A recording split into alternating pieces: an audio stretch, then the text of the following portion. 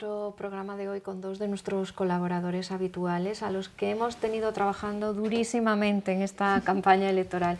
Ellos son Bernardo Nogueira, estilista, buenas noches. Buenas noches, Ana. Y María Verde, diseñadora de la firma Rosia by Mariana. Hola. Buenas noches. Buenas noches, Ana. Todos los días saliendo en el periódico analizando los estilismos y la imagen de distintos candidatos a- en estas elecciones. eh, y yo encantada de teneros aquí. ¿Os resultó difícil? ¿Cómo fue la experiencia? Pues mira, diferente, la verdad es que diferente, porque es que no sé si a María le pasa, pero yo hasta ahora, hombre, te fijas en lo típico, ¿no? En unas elecciones, unas campañas, te fijas en lo que vas por la calle, pero nunca te paras mm, detenidamente a candidato por candidato, como dice. Bueno, y además que en esta ocasión os propusimos unos nombres que, aparte de los que ya son más conocidos, de los que están siempre en los Sí. debates, hay mucha, muchos nombres nuevos y también hicimos así una selección.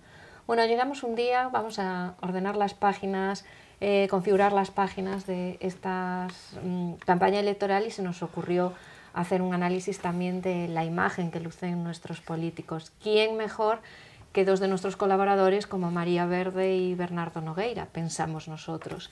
Y ahí yo dije, ahí va vuestro reto. ¿Sois capaces de hacer un análisis con todo esto?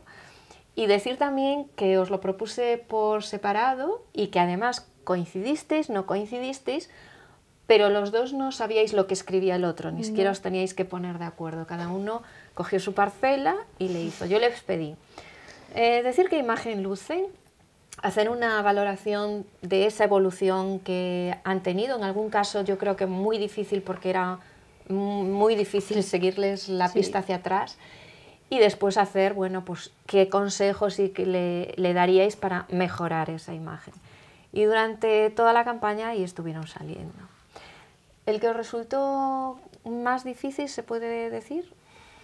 O sea, el hecho de, tenerlos ya en mente, de conocerlos, Sí. es una ventaja, pero también os supuso trabajo. ¿no? ¿Sabes qué me pasaba a mí? No sé si te pasaba igual. Que yo, eh, evidentemente, tienes que recurrir a las imágenes, las internet y busques historial. Y a veces las imágenes no están ordenadas cronológicamente.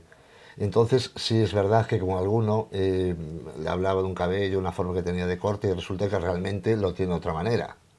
Pero eso sí me tiene pasado, de gente de no conocerlo, de no controlar y tener Es que que es mirar imágenes. difícil, de los que hay un recorrido político de años, más o menos, tienes un poco de, de base sobre lo que fijarte, pero hay parte de los que hicimos que no tienen ese recorrido, que entonces además hay poca imagen y te tienes que, no sé, no Casi fiar un poco de lo que estás- in- de una imagen, Sí, una ¿no? intuición de cómo puede vestir más esa persona que en sí lo que ves realmente. Los cabeza de listas como pueden ser Mariano Rajoy, Pedro Sánchez, Albert Rivera, eso es Esos sal- fácil salen y solos. sale muy rápido, pero los otros De no todas tanto. formas, dices tú son fáciles y bueno, si lo decís Fáciles vosotros que entre los comillas. expertos, pues es, pero también a la hora de la verdad yo creo que muchas veces tenemos un poco esa imagen de, digamos, más global Mm, eh, con la que nos quedamos y a la hora de hacer un análisis, de hacerle un recorrido, de ver en qué puede mejorar, te obliga un poco realmente a situarte y a, "Ay, Sí, pues sí, es a decir, fíjate Sí. cómo andaba en el año... Sí, sí, eso es cierto. ¿eh? También es verdad que lo tuyo será más complicado porque, a ver, tú el pelo pues lo ves en una foto cualquiera, es decir, Bueno, tú además imagen- encontraste muchos de no cambia. Ah, es verdad, sí, es verdad. Estos, estos que son Esta era la queja de Bernardo siempre, no cambia. Bueno, en general te diré que pocos cambian, ¿eh? Ya, pero me refiero que tú, para juzgar, me imagino que te sería más complicado que a mí, porque es que habrá muchas fotos Sí. en que se le ve a lo mejor de medio cuerpo, Sí, y a sí. mí con que se le vea de cuello para arriba ya me llega, pero a ti habrá fotos de esta gente que no conocíamos o que no controlábamos es muy, tantos muy que difícil. tendrías que pillarlo de, de- de foto entera, y no hay muchas veces fotos enteras, claro. Bueno, empezamos por, si os parece bien, casi por los, analizando los cuatro, que además coincide, como no, que son hombres, Mariano Rajoy, Pedro Sánchez, Albert Rivera y Pablo Iglesias, que eran los más conocidos y los supuestamente más fáciles, entre comillas. ¿Cuál fue de estos el más difícil o el analizarlo, verle algo que os llamó la atención? Bueno, en general, de los tres primeros, que son Mariano, Pedro y Albert Rivera, pues digamos que Pedro Sánchez y Albert Rivera son como más, no más estándar, pero sí tienen una forma de vestir que no te choca tanto. Mariano Rajoy es que tiene muchos fallos. a decir verdad, porque es una persona que viste muy clásico y eso no es un problema, al contrario, si es su estilo, ole, pero es como que lleva los trajes muy flojos, es como muy desgarbado, es una persona que realmente se le ve que se viste porque tiene que vestirse y es parte de su trabajo, pero no mi sensación es que no le presta demasiado atención, atención y me imagino que tendrán estilistas que la aconsejen. Sí, pero además es curioso. ¿eh? Mariano Rajoy me da que pasa. En, eso, en eso coincidimos, mm. es verdad. Debe ser una persona que con el pelo pasa lo mismo, que es lo que dije. Es decir, debe ser la típica persona que no le gusta el cabello recién cortado, no sé por qué. Es decir, esta típica persona que en el salón dice, es que no quiero que se me note que fui a la peluquería. Bueno, vale, no se te tiene por qué notar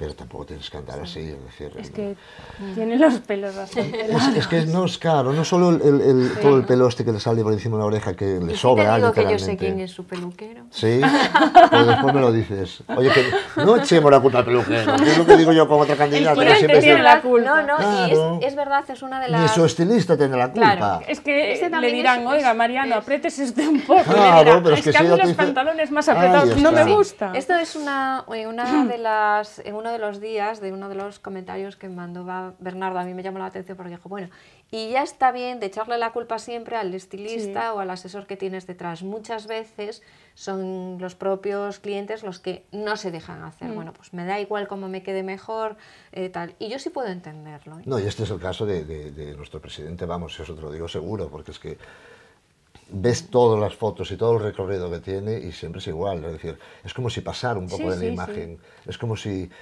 Sí, además es todo, es el cabello, es la barba, que no está lo que decimos, nunca la dibujó, lleva esto siempre sin, sin afeitar, se le hunde con la camisa, es una cosa como de dejadez absoluta. Bueno, y, quede claro que empezamos con Mariano Rajoy con una de las frases más controvertidas que hubo durante toda la sesión, que fue Mariano Rajoy, yo lanzaría una apuesta desde aquí, Mariano Rajoy se tiñe el, pelo, sí o no. Bernardo Nogueira apuesta yo que digo que no, o sea, yo analicé la foto amplié la foto y, es lo que le decía en el artículo, le pasa como le, le, sucede a muchos, a muchos hombres, a mí me pasa lo mismo. hay gente que me dice si me tiño, tengo muchas menos canas en el pelo que en la barba, la barba siempre suele salir la cana mucho antes y con más abundancia.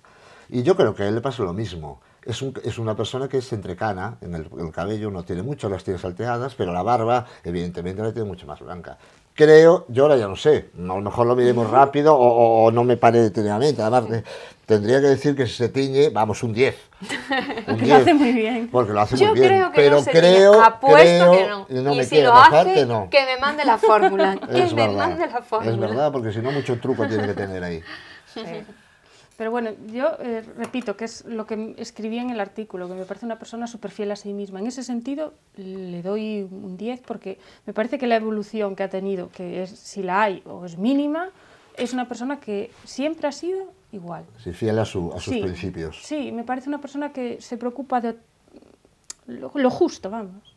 No, no le da esa importancia aún siendo presidente que vamos, ya para mí, no le, a ver, le doy un día sí, sí, sí es que hace lo que quiere, pero desde el, desde el, punto de vista de, de, digo, del estilo y del pelo, vamos, un suspenso. Es muy mejorable.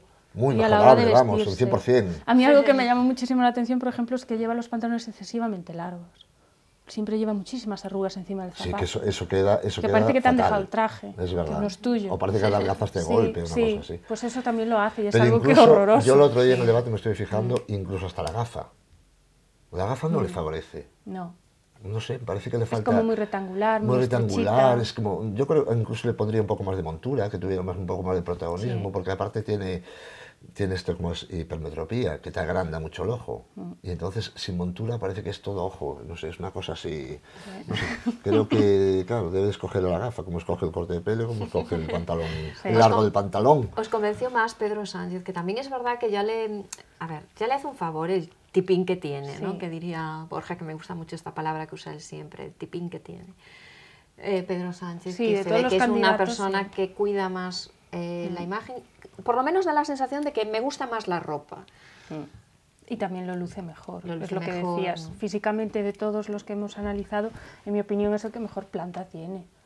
A mí, personalmente, me parece una persona demasiado, como un poco, no sé, lo encuentro como un poco forzado, ¿sabes? De, tan Sí. que tiene pillada esa postura y que sé que lo soy, ¿sabes? Sí, y como sí, que sí, no sí, me sí, gusta. sí, sí. En ese sentido, no. Y, y vuelvo a decir, como dije en, en el artículo, que me parece que usan los trajes y en general las chaquetas un poquito estrechas. Va un pelín apretadito. Como me decía el otro día una clienta, un poco petado. pues para mi gusto sí. Sí, creo que, que entre lo apretado que va y, y el discurso a veces un tanto forzado que tiene, no le favorece ese estilo así tan... Un poco de Sí. naturalidad le vendría muy Después- bien. Mm. Yo lo decía el día que escribí esto y creo que tengo razón, que él, él sabe que es atractivo. Sí, Y entonces Se mm, quiere. sí que es un poco mariposa, es que decir, él se quiere mucho y, y- Sí. Mm. y ve que la cámara le quiere y todo el mundo le quiere. Pero después, hombre, no hay que negarle que, que, que tiene estilo y lleva un Sí. corte de cabello siempre en su punto, nunca se lo ves fuera de punto, nunca se lo ves crecido. Mm, incluso a veces se permite el lujo de eh, un poco de gel, dar un acabado Sí. un poco diferente. Bien, bien. A mí me sorprendió más el análisis que hicisteis de Albert Rivera, que hacía a simple vista, era, bueno, pues como, también es, a lo mejor no tanto como Pedro Sánchez, pero de los guapos oficiales de, esta, de este teatro político. Y, y me llamó mucho la atención que luego le fuisteis sacando, vamos a decirlo como defectillo. ¿no? Que tiene María más de los que parece, ¿no? claro, es como que a simple vista sí que mola Albert, y luego vienen aquí nuestros expertos en moda y tal, y Bernardo por un lado, que si el pelo más larguito, Sí. que si aquí las entradas, que si aquí no sé qué, y María con que, que se haga un traje a medida que Ya nunca mismo. corresponde la misma Sí que le talla. dimos caña, ¿eh? Ay, sí. Sí, sí. Es que lleva una talla muy diferente de lo que es el pantalón a la chaqueta. Tiene un problema grave. O sea, debe de haber una diferencia de una talla o dos, porque las chaquetas aquí las lleva el pobre a reventar. Hombre, Pero bien, bien. Ese sí que va petado. Reventón, que se dice en mi. A mí eso fue curioso, a mí me pasó con, con Albert Rivera una cosa muy... Después me reía hasta yo solo, porque empecé a ver fotos y veía que, bueno, que hace años pues llevaba el pelo un poco más largo, incluso se lo ondulaba, dejaba un poco de barba, le daba así un toque, como decía yo, más fresco, más, más, más natural, ¿no? Más urbano. Y en esto que no sé cómo iba evolucionando, y yo siempre lo veía como, como un mechón aquí, que se le giraba hacia la izquierda. Y yo las primeras fotos dije, pues qué casualidad, ¿no? Y al final resulta que no, que claro, que eran todas las fotos y era para tapar la entrada. Entonces me parece un, un chaval que tiene treinta y pocos, creo que tiene 34, 35 años. Según leí yo, que se puso. Esos, que se puso pelo, Sí, pues este según- mechón le quedó mal. Porque Por vamos. favor, que se lo recoloque. Hombre, no, vamos a ver. Y aparte que no hay, es lo que decía, no hay cosa peor que evitar eh, de esta manera un- un- una entrada. Alona Sagasti. Claro, hay mil maneras, El rosco. muchas maneras, de, no de disimularlo al 100%, pero llevarlo un poco más natural, que se vea un corte más, más adaptado al problema. Y no que deje un mechón así, además un chico tan joven. Y creo que es una persona que evolucionó, eh, que decir, cada, cada foto que veía parece que se metía 10 años encima. O sea, no sé si quiso, me imagino que sería una imagen como más sobria, más tal.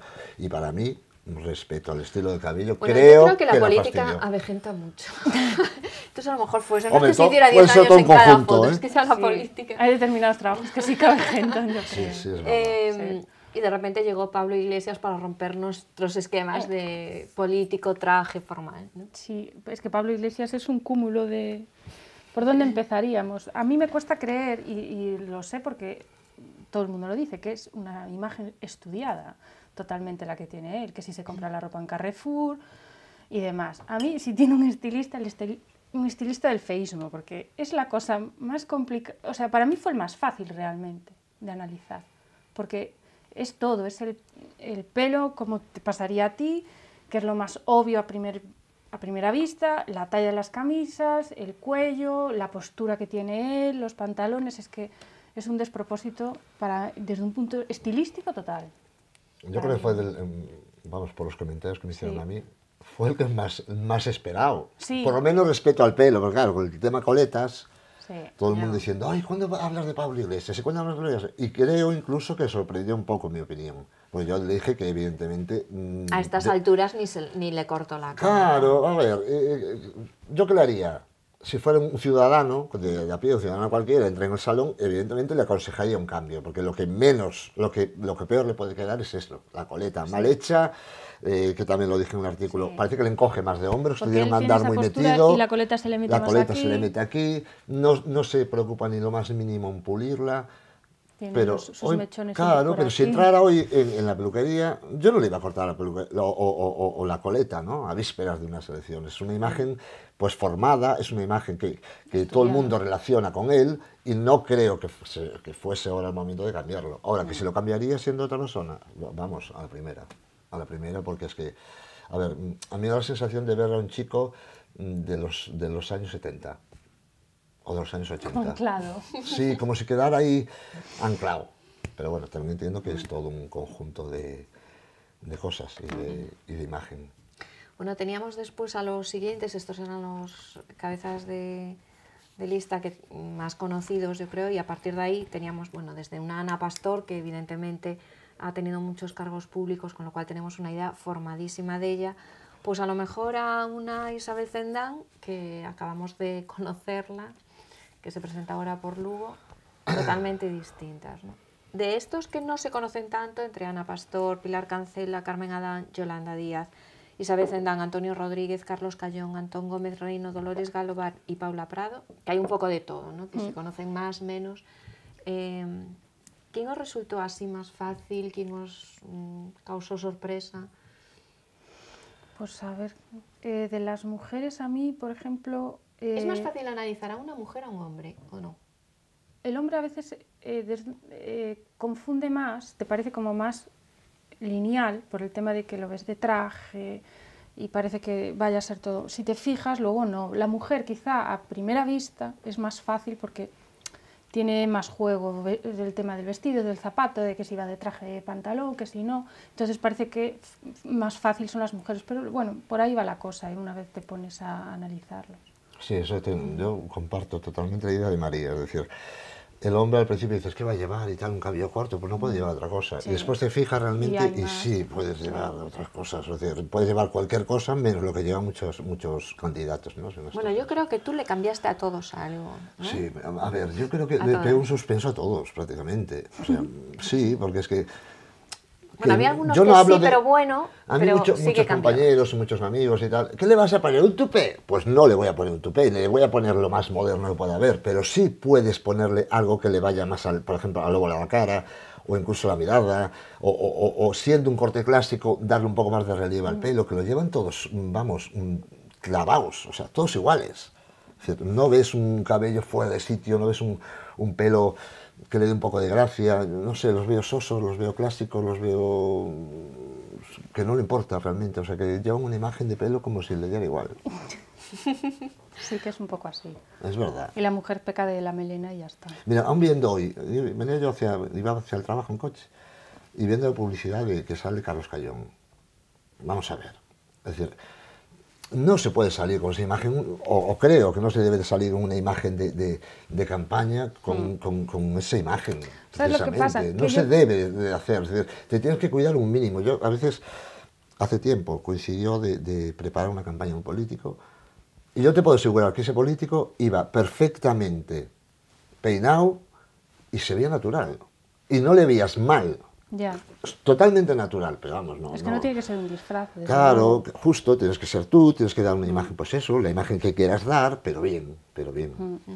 ¿Sabes lo que pasa? Que a mí me parece que en política muchas veces el tema de la, de, de la indumentaria es como, pues, como una demostración más de su partido, de su ideología, si quieres decirlo de esa manera. Y entonces parece que las coletas, el no ir vestido conforme a la etiqueta que, que requiere ciertos actos, es como algo muy, como que queda bien, Sí, como algo que va con... como con muy progre. Y cuando no es así, a mí me parece que se confunde. Am- en general creo que el respetar una etiqueta y respetar a la persona o a, a la gente que va a ese acto conlleva vestirse de determinada manera. Da igual Que tu no tiene forma por qué de ser pensar justo, que no tiene y tu tampoco que- partido que- que- y que político. tampoco tienes que ir Es como que excesivamente- se avergüenzan de, de, me voy a vestir un poco más. Pues no puedo Sí, a lo mejor es porque también se quieren separar un poquitín de ese rollo, pero lo que dices tú. Es no, decir, no es No tienes por qué ir de Sin embargo, etiqueta, es como pero... una cosa, yo estoy totalmente de acuerdo con lo, que, con lo que dices tú, pero también es una cosa que yo creo que ahí, justo en ese momento, separamos un poco a lo que son hombres y, mu- y Sí. mujeres. ¿no? Yo creo que, por ejemplo, si pensamos en una Yolanda Díaz, por ejemplo, ¿no? que teóricamente, mm, digo, para poner la pareja a sus compañeros mm, de partido político, probablemente ella se preocupe más por el vestir, dando la imagen que da ideológicamente, que a lo mejor sus compañeros de partido que la dan. Mm. De todas maneras, es una, una mujer que una vez analicé, me puse a mirar fotos y demás, confunde, porque se la ve que a veces va de traje y a veces tiene ese aire más hippie, más poco vestido y entonces despista un poco. No sé si a ti te pasa lo mismo con el pelo. Incluso la veo a veces como muy maquillada, muy de labio rojo, raya, y luego al mismo tiempo otras veces la veo como totalmente opuesta. Digo, yo no, no, sé por qué lado pillar la cosa. Hombre, yo en, en, cuestión de, de estilo de, de, corte, y eso fue de las que más me gustó se la ve que es también la que más sí, varía. Claro, se, mm. le veía incluso hasta una tendencia en el pelo, es decir, se, le ve con gesto en las puntas, se le ve con un cortacapas, se le ve con un flequillo de lado, incluso lo comenté también, que me, encantaba hasta como recogía el, cabello a veces, que hacía como un moño deshecho, se le caía por aquí, se le veía un mínimo de preocupación. Mm. Pero también es verdad que nosotros a veces vemos fotos, pues yo lo pensé también, te pones a ver fotos y de repente ves una que no te gusta nada y a lo mejor te das cuenta que fue un meeting que dio en tal sitio y entonces piensas, pues mira, vamos a darle el, el, beneficio de la duda y a lo mejor fue que la pobre llegó a tal, tal y no tuvo ocasión de, de, de prepararse mejor. Pero sí que es verdad que fue de las que más me gustó. Mm, puede ser, sí. ¿Quién fue así en estilismos, quizá la que salvarías tú, María, la que más te gustó? ¿O el que más? A mí me parece que Dolores Galobar, la señora Dolores, eh, iba... A mí me parece una señora que dedicándose a lo que se dedica, viste muy bien, muy apropiados al tema político y al cargo que, tiene. Me, me, gustó. En general fue de las pocas que no pude sacarla en sí, decirle, bueno, pues debería cambiar de esto, esto y eso. Me parecía bastante adecuado en las elecciones que, hacía, en tema de etiqueta y demás. Y quién más me pareció muy apropiado, pues no lo sé, quizás sea la que más en tema femenino. En, hombres me cuesta más. ¿eh? Le saco más defectillos a todos. Creo que hay muchos, varios de ellos que tienen un gran potencial eso también coincidía pero con que no se acaban de sacar todo el partido que, que Tiene más... Mm, más eh, Antón Rodríguez, por ejemplo. Antón Rodríguez. Antón Rodríguez. Que a mí me ha parecido, me pareció muy guapo Antón Rodríguez. Sí, aparte... Antón Rodríguez no, perdón. Antonio Rodríguez. A mí me gusta Antón Gómez Reino. Ah, Antón vale. Gómez Reino, No, yo digo, el, el, por ejemplo, Antón, Antón Rodríguez, él, tiene una buena cabellera un cabello con canas, un cabello se ve bonito y también lo lleva así como un poco corto, va, bien, lo justo. Pero bueno, yo creo que es una persona esa que sí podría sacarle más partido. Antón Gómez Reino, que yo creo que sí que se le mm, es el podría sacar, chico alto. Un chico alto que, que, sí ha tenido varios cambios de mm. estilo de pelo. Bueno, que le queda mejor el cabello un poco largo. Eh, a mí por lo menos me gustaba más. Sí. Porque es lo que decimos, llevaba un pelo largo así, un su barba. atrás, con la barbita y tal, y de repente se lo corta y bumba, el corte de todos. Entonces mm, queda como... como que no, que, que te le lo falta algo, que le falta algo. Paula Prado, por ejemplo, me parece que es una mujer que tiene un físico y un porte y un que puede sacarse también muchísimo más partido de lo que lo hace. Me parece que vamos, y con el pelo vamos exactamente igual. O sea, el pelo tiene un pelado. Yo, buen pelo. Que, que, es de nuestras elegantes, el zapato en casa. Sí, sí, no tiene nada que ver. A ver, no, tampoco no estamos sacando ningún mérito, ni mucho menos. Sí, pero es bueno, que, no tiene nada que, ver, que puedes gustar y lo que dice María, pues mm, sacarte Sacarle más partido. Y aparte es, jolín. Yo creo que, que... un poco es muy a lo mejor quizá muy uniforme todo el mundo que, que tal que mm. no arriesgas, ¿no? Como que no encuentras tu... Es que es una persona, una mujer muy alta yo las veces que coincido con ella en algún sitio, pues es alta, tiene una, talla fabulosa para poder lucir un montón de cosas. Y me parece que se limita mucho. Paula, pues es desmelénate. sí, desmelénate, Paula. Quizá le vean un, puntito de imagen, un punto duro. Que también eso lo, lo, dije cuando, cuando puse el artículo, que no sé, la veo con la melena muy larga y muy oscura y eso le, le hace un aspecto, mm. que yo también tengo coincidido en algún acto de verla, y parece que, mm, que, te impone un poquitín. Mm. Yo creo que endulzarle un poquitín ese color sería, ¡guau!, lo más, con ese pelo que tiene. Bueno, a ti cuando hablas ya te veo ganas, ¿eh? Uy, se me va la tijera, bueno. te veo ganas, te veo ganas. Bueno, lo que sí me ha parecido, un poco yo como coordinaba así lo que mandabais cada uno, es que al final lo que era, todo el mundo era al menos coherente en cuanto a cabello y, y vestimenta. porque coincidíais bastante, analizando Mm. cosas distintas, es que coincidíais sí. bastante en la conclusión a la que llegabais. Así que por lo menos lo que sí van es coordinados entre el pelo y. Sí, la verdad la es que tampoco creo que hubiera así nadie que fuera fenomenalmente... Quiero decir que es muy raro que te guste muchísimo a alguien que a María le no Ya. le gustase nada de ropa y al revés, sí. ¿no? O sea, coincidíais así bastante en los criterios. Hombre, yo creo que cuando se tiene un analizando buen cosas estilo- distintas. Una persona Claro. tiene buen estilo, yo creo que se lo, mm, lo tiene en conjunto. Es decir, tú nunca verás, o creo, es raro ver una persona Sí. súper estilosa de Y ropa mal peinada. ta- y mal peinada. O mal peinada, sí, eso es verdad. Bueno, la pues, baronesa. la baronesa puede llevar un Armani, pero con esos pelos Sí, no hay por dónde cogerla. Eso vamos, para cobrar la foto en la peluquería. Y, y al revés seguro. Deberías pensar en alguien que vista fatal pero que tenga un pelo ideal. Lo pensaré, lo pensaré. ¿Alguno se te ocurrirá? Bueno, pues muchísimas gracias a los dos, no solo por haber estado hoy aquí contándonos estas pequeñas cosas, sino también por haber aceptado el reto de estar tantos días, que parece que fue ayer, pero ya lleváis unos cuantos, creo que eran algo así como 14, Por ahí iba. los que hicimos en, en campaña, y haber estado todos los días, bueno, con ese trabajo extra de tener que analizar el, el estilo de cada candidato que os propusimos. Eh, nosotros la próxima semana volvemos a golpe de día 25, que vais a hacer el 24. Cenar. Mucho turrón. Yo cenar, tú no sé. Bueno, yo no lo voy a decir aquí, que queda un poco feo. Paz, amor y buen rollo para las navidades. Eh, María, te vemos en la siguiente Sí, mesa, ¿no? espero. María hace un respiro y, y sigue. Y Nano creo que se va mangado otra vez a, Sí, a hacer cosas. a hacer cosas, justo. Y a prepararlas. Bueno, la próxima semana veremos que, cómo planteamos la Navidad. De momento nos vamos a reciclar moda y a todas las propuestas que nos trae como siempre en, esta, en estas cosas Carmen Pichelli, su preta costura.